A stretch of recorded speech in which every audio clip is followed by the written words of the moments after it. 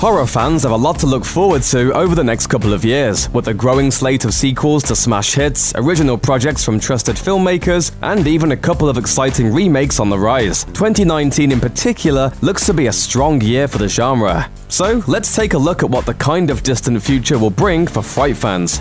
An American Werewolf in London John Landis's landmark 1981 film established him as a daring filmmaker with a strong visual style and proved that he could successfully blend gut-wrenching horror with comedy. So, remaking An American Werewolf in London might seem like a risky proposition for most filmmakers. But with the original Auteur's son, Max is ready to take on the task and he has his father's blessing. Sort of. The elder Landis told Collider, I know it won't be as bad as An American Werewolf in Paris, which was Oh, be serious, would you?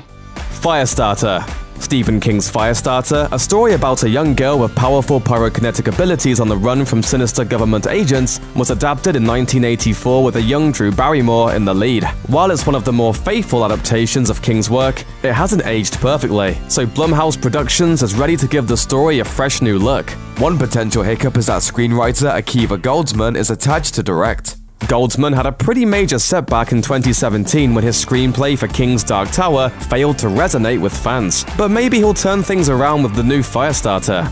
It's Chapter 2 an even stronger Stephen King story in the pipeline is a sequel to It. The first chapter blew everyone away at the box office, but Warner Brothers didn't greenlight the second installment until they were absolutely sure the film would be a hit, which means even though fans are clamoring for a follow-up, there's still a lot of work to be done. Director Andy Muschietti is all but guaranteed to return, and says that the film will center around the adult lives of the losers as they return to Derry to battle Pennywise, but that we can expect to see all of those cute kiddos from the first film too. It Chapter 2 2 is scheduled to hit theaters on September 6, 2019.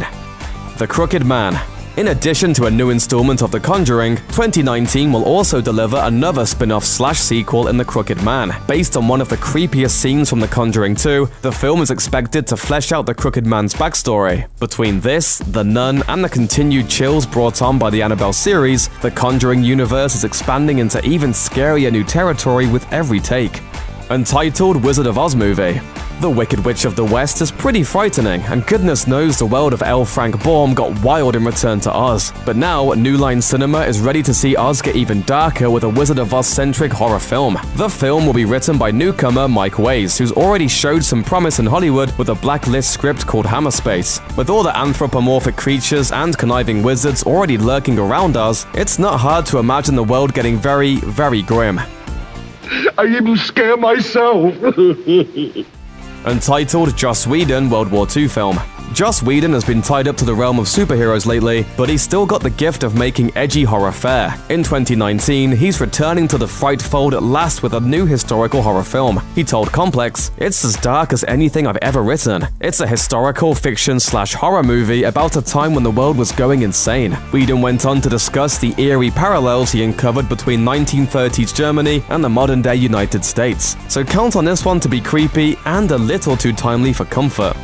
The Blob the 1958 low-budget horror classic The Blob has already gotten the remake treatment once, in 1988. That version was pretty inessential, but with Samuel L. Jackson and Halle Berry reportedly starring in a new take, things are about to get even quirkier. Action director Simon West has long been attached to the project, but we'll have to wait to see how The Blob takes shape.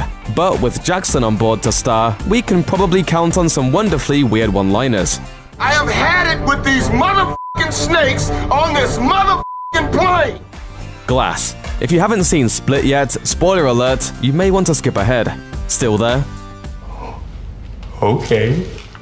Split was certainly anchored by James McAvoy's mesmerizing performance, but it's the film's last act that really sticks the landing. In the final scene, Bruce Willis makes an unexpected return as David Dunn, the hero of 2000's Unbreakable, and ties the world of the Beast into the world of Samuel L. Jackson's Mr. Glass. M. Night Shyamalan has never been a sequel guy, so it was a shock to see that those two films are not only connected, but that a third installment of the Unbreakable series called Glass is on the way too. The cast will feature Willis, Jackson, McAvoy, and Anya Taylor Taylor-Joy all reprising their roles, and it will be the final installment of the dark superhero trilogy that has suddenly taken shape. Glass will hit theaters on January 18, 2019.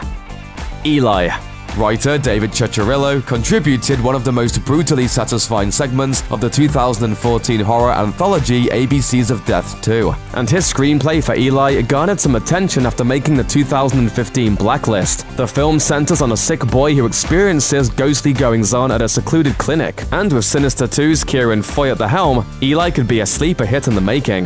Hellboy Fans had long held out hope for a third installment of director Guillermo del Toro's Hellboy series, but that hope was unfortunately dashed when del Toro finally admitted in 2017 that it just wasn't going to happen. Sorry.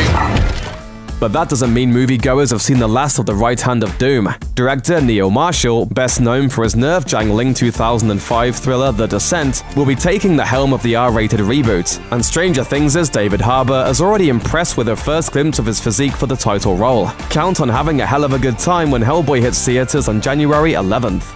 Entitled Jordan Peele Project Last but not least, Jordan Peele is returning to the horror scene in 2019. His directorial debut, Get Out, was one of the most talked about movies of 2017, so there's a lot of excitement already building around what he may do next. Peele is expected to deliver another socially charged horror film, and told Screen Junkies, The worst monster that you can explore in a horror movie is human beings themselves. I think the scariest thing we don't talk about enough is that when people get together, we're capable of the darkest things.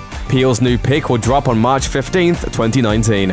Thanks for watching. Click the looper icon to subscribe to our YouTube channel. Plus, check out all this cool stuff we know you'll love too.